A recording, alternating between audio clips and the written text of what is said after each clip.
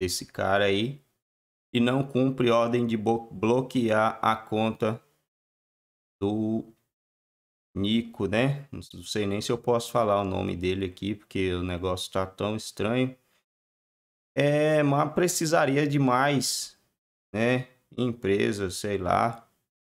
Pra, sei lá, mano, pra que que... Não dá, não dá nem pra falar nada aqui. Mas comenta aí o que que vocês acharam dessa notícia, né? Será o que que as empresas de redes sociais aí vão ter que fazer? Será que até eles vão ser censur, né? Complicado, né, pessoal?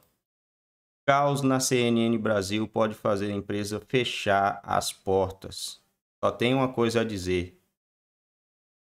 Agora pula, vai! Em situação delicada, a CNN passou a dar lugar ao jornalismo militante de esquerda e perdeu grande parte da sua audiência para a Jovem News. Em uma matéria do telinha, é possível ver que a CNN Brasil fechou 2022 com um déficit de cerca de 60 milhões e o estrago financeiro fez sua diretoria cogitar o um encerramento. Uai, cara, não, eu não consigo entender uma coisa, pessoal. A esquerda ganhou, certo? Eles têm mais audiência, pelo menos na teoria, né? Tem mais pessoas. Se tem mais pessoas, a CNN, que é um jornal de esquerda, quem vai assistir eles são o pessoal da esquerda. Eles tinham que ter mais audiência do que qualquer um, porque quem ganha tem o maior número, né? O mais fraco sempre vai ceder ao mais forte, porque o mais forte é maior, né? Tem mais força, então não era para a CNN tá querendo fechar, né? Tá cogitando fechar as portas. Eu sinto muito Sinto muito, não, não sinto muito, não vou mentir para vocês. Eu só digo uma coisa, faz a faz agora, faz. Eu espero, sinceramente, Deus me perdoe aqui, mas não vai fazer falta. Não vai fazer falta, né? Não vai. Olha aqui o que que esse pessoal estão causando pra gente, cara. Olha o que eles vão causar pra gente, né? Pacotão da democracia, mano. Ih, que isso. Prisão de manifestantes em Brasília tem indício de crime de tortura que, impres... que cadê? imprescritível e o ministro Flávio Dino pode ser responsabilizado. Demorou, né? Tá demorando muito. Demorando demais, porque estão soltando pessoas condenadas para colocar manifestante ali.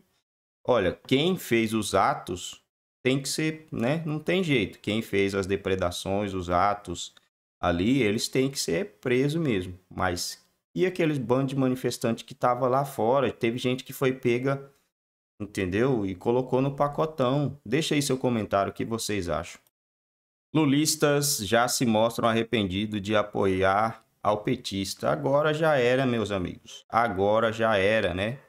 Não tem mais. Não era o, o, o outro lá que era ruim, né?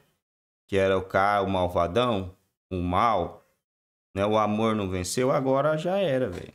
Já era. Só Deus, né? Agora é só Deus para nos livrar disso.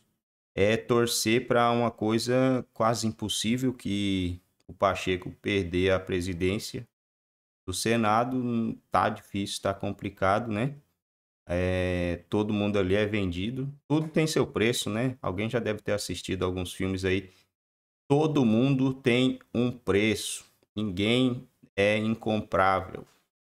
Esgoto começa a perder o sono com o crescimento da, da audiência da Record.